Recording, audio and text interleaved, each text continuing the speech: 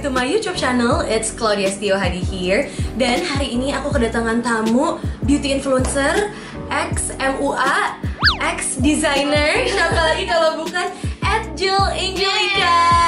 Thank you so much for doing my makeup. Seneng banget karena hasilnya bener-bener sesuai ekspektasi aku mulai dari alis, eye makeup, lipstick itu bener-bener bagus banget dan hari ini kita akan fokus bahas mengenai glam eye makeup ya. Jadi ini cocok banget untuk pergi ke kampus. Oh enggak ya, salah jangan ya Beb ya. Kaget dosen ya kantor, ke kantor gimana? Eh, Mungkin jangan. nanti apa namanya bosnya agak bingung Eh, ya. agak bingung mbak mau ke mana mbak? Eh, ini bukan beauty class kebetulan gitu ya. Jadi buat kalian yang penasaran gimana cara aku, eh aku kan kebiasaan gue yang make upin diri sendiri beb. Gimana cara Angelica make upin aku untuk bikin glam eye makeup? Keep on watching. Nah, saya kita mata ini pakai palette dari Violet Foss. Ini warnanya ya coklat-coklat gitu Eh, sih. warm tone ya. Eh, Dari Urban Decay yang Eye primer sejuta umat. Soalnya itu nahan minyak gitu loh. Oh beneran ngaruh ya? Emang alis aku nggak berminyak. Tapi tuh kakakku berminyak banget kan. Malah dia yang kayak lu pakai ini deh bagus soalnya. Dia tuh kayak pakai ini cuma buat nahan minyak kadang-kadang karena emang lebih nggak berminyak itu katanya. Kita pakai yang warnanya Apa nih? Bad My Eyes. Ini aku suka banget sih warnanya.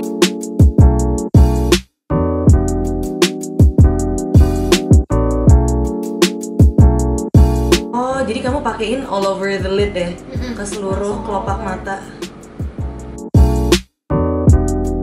Sebenarnya kalau untuk eye makeup aku lebih suka dalamnya itu warna terang. Tapi aku sekarang lebih kayak gue pengen eksperimen aja. Gue pengen tahu kalau di make upin sama orang kan ini gaya lo kayak gini kan. Lo belum lihat hasilnya lo nggak bisa Iya, bilang gitu iya. ntar nggak cocok apa cocok bener, gitu. bener. Nah, aku tuh kayak pakai eyeshadow tuh nggak terlalu banyak warna gitu loh. Hmm. Nah, mau kayak cuma 2-3 warna doang. Iya iya. selesai. iya. Oh untuk lower lash line lower gitu ya. lash iya.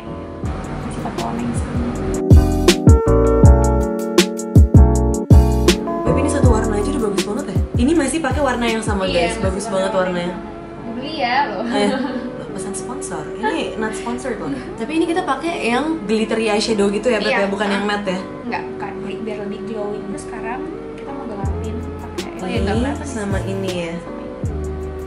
Untuk kayak kasih lihat di matanya supaya kayak ada yang supaya ada yang lebih masuk lebih keluar gitu hmm, dan kamu biasanya bikinnya kayak bulat gitu ya, Beb. Di blend tapi kayak tetap melingkar gitu loh di sini. iya benar kan ada yang suka bikinnya smoky Ah, aja ah, ah, kalau ah. biasa aku bikinnya lebih ke bulat sih kalau misalnya buat kayak ke pesta gitu jarang banget sih pakai kayak gitu Oh, terus di blend lagi pakai brush bersih. brush yang tadi pertama kali kita pakai Oh, yang pertama kali. cuman aku biasa ambil tisu aja nih Oh. terus diginiin kayak kadang tuh suka males kan kalau ganti-ganti brush cuma Mm-mm. bisa aja sih kalau pakai brush lain yang bersih itu juga Buat lebih bagus ya. sebenarnya cuma kayak Ah. kadang-kadang kemalasan ini Jadi kamu pakein warna yang lebih tuanya itu cuman sampai mana, Beb?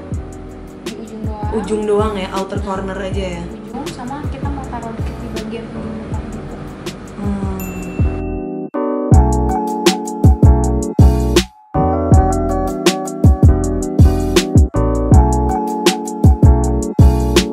Dan ini di blend bagian luar tuh nggak ditambahin warna ya, bener-bener cuman Enggak, aku jarang. Pakai brush si bersih brush aja. bersihnya. Mm-mm.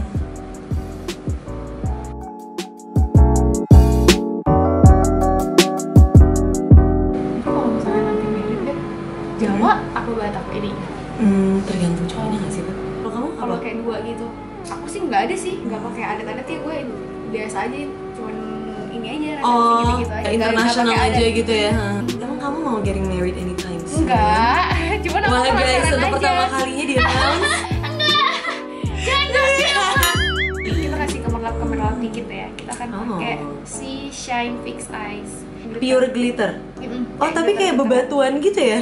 sebenarnya bukan bebatuan. Apa sih ini? dia kayak hancur di dalam. Oh, hancur di dalam. glitter glitter gitu lah pokoknya. Dan ini warnanya? Agak-agak rose gold gitu. Oh agak rose gold.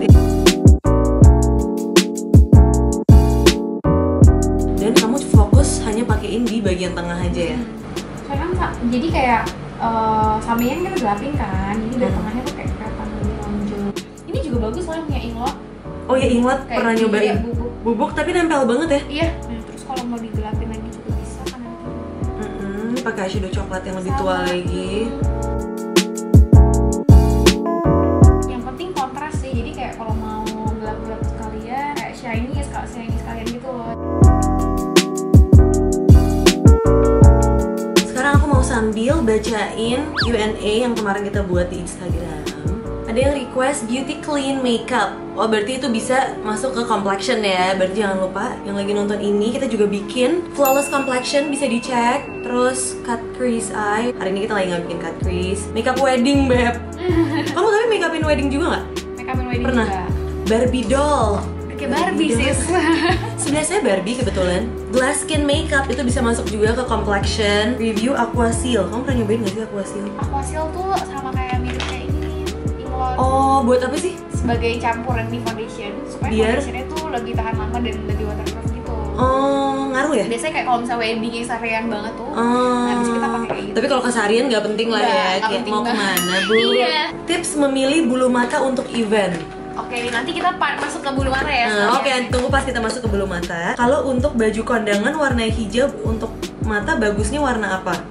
Nah, kadang pemilihan warna eyeshadow kalau zaman dulu kan orang suka kayak baju aku biru, aku pakai eyeshadow biru kan. Oh, iya. Tapi sekarang tuh kalau kayak itu tuh kayak udah agak tinggalan zaman Uh. gitu kali ya. Kayak orang sekarang tuh bisa masih bisa dikasih touch tapi kayak pasti tetap ada sentuhan dari si coklatnya jadi Uh-uh. kayak lebih netral gitu loh Uh-uh. jadi kayak orang ngeliat juga kayak biru satu Iya, iya, iya. sebenarnya ini agak ada sentuhan si purple dikit banget Ah, kalau iya iya iya. even iya. dia bronze tapi masih tetap ada sentuhannya Jadi kan. masuk kalau mau pakai baju purple gitu ya. Kalau misal kulit berminyak banget tiba-tiba jadi kering, terus pakai foundation jadi nge-crease banget itu gimana ya? kalau misalnya kayak uh, founda- foundation nge-crack gitu tuh balik lagi kayak pertama foundationnya apa terlalu kering terlalu, Terlalu matte matte, banget uh-uh. uh-uh. itu udah pasti nge-crack kalau misalnya terlalu matte Uh-uh. banget sama kita bisa bantu banget tuh dari si moisturizer Skincare-nya ya. uh-uh, itu penting banget sih Heeh. skincare-nya Karena aku juga ngerasa sih kulitnya berminyak. Mm-mm. Terus aku habis cuci muka, ya otomatis hilang semua Iya. dong minyaknya kan.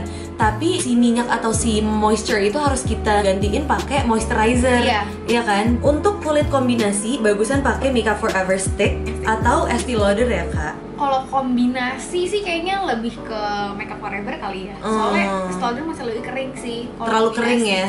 Jadi lebih baik yang normal aja. Iya yang normal. Tapi kalau misalnya emang kamu mau pakai Slogger ya bisa, tinggal Hmm. pakai primernya lebih Nah, banyak. primernya Ah, lebih banyak. Skincare, moisturizer gitu dilebayin Harus aja. becek. Becek. Nih, nelfon lagi nih. Kayak radio. Heeh. Halo. Ada telepon. Lanjut ke eyeliner. Ini kita bakal pakai eyeliner. Ini eyeliner gel dari Inglot.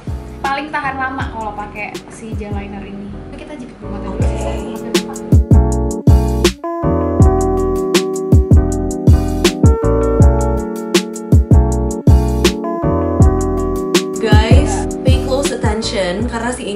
Mau bikin eyelinernya tuh nggak kelihatan kayak pakai eyeliner. Jadi kayak smudging gitu. Caranya adalah gimana, Angel? Jadi pas tadi kan pakai gel liner tuh. Heeh. Nah, kalau pakai gel liner kalau kita timpain dikit tuh dia jadi kayak lebih tuh buramnya tuh kayak enggak kalau pakai yang liner gitu tuh kayak lebih maksa gitu loh. Soalnya kayak lebih smooth aja gitu. Kalau mau lebih hilang lagi bisa timpain pakai yang bener-bener hitam. Hmm, oh eyeshadow pakai hitam ya. bener.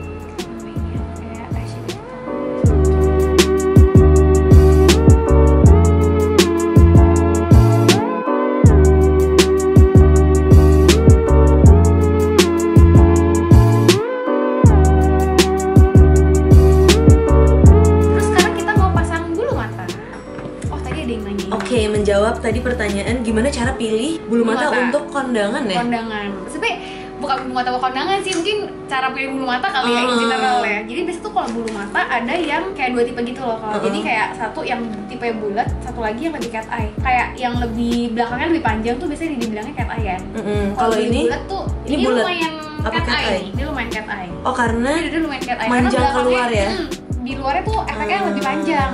Jadi biasanya jatuhnya tuh kalau kayak gitu kita bilangnya cat, cat eye. eye. Nah, jadi kita mau pakai ini dari artisan profesional. Pokoknya yang paling penting kalau mau pakai bulu mata udah dijepit dulu. Mm-mm. Terus udah pakai eyeliner dulu nih. Eyeliner tuh. Nah, baru kita pakein si maskara, Maskara. dulu.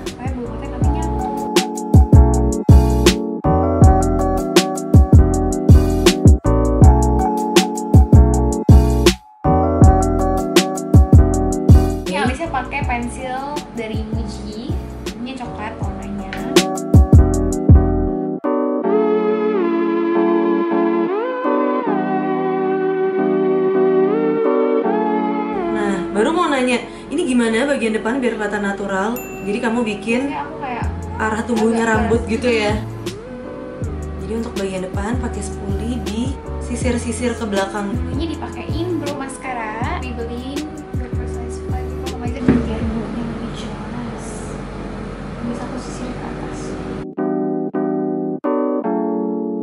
Oke, jadi sekarang kita akan pakai BK highlighter untuk highlight alisnya. Eh highlight alis. Hilang dong beb alisnya.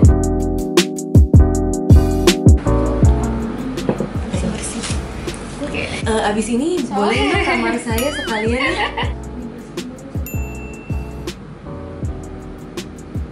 Dan ini langsung beda banget sih kalau pakai highlighter di inner corner ya. Lebih keluar gitu. Ini dari Inlot yang Jennifer Lopez kolaborasi sama si Jello. Kalau yang nggak suka nude, biasa suka kayak aduh kok saya kayak orang sakit gini ya. Padahal Harus emang nude banget Iya, ya. harus benar-benar suka nude baru bisa mencintai.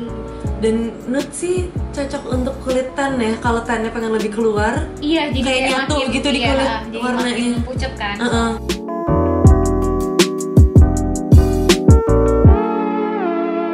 Terus nih sekarang kita gloss. Nah, karena ini lip Candy. Nah, jadi kita Ah. sekarang mau pakai gloss. Ini pakai dari Fenty Beauty.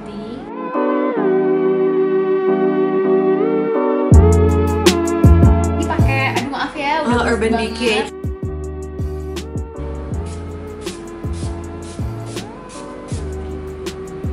Gemes banget ya kalau ngeliat makeup artist selalu bawa gini aneh. Ini biar apa sih? Biar cepet kering aja Biar gitu. cepet kering. PW guys. Ini mandiri loh kliennya. mandiri lah saya. Eh, makin kencang. Iya, Wow, dia sampai tiga kali kencangnya ya. Iya, lumayan banget.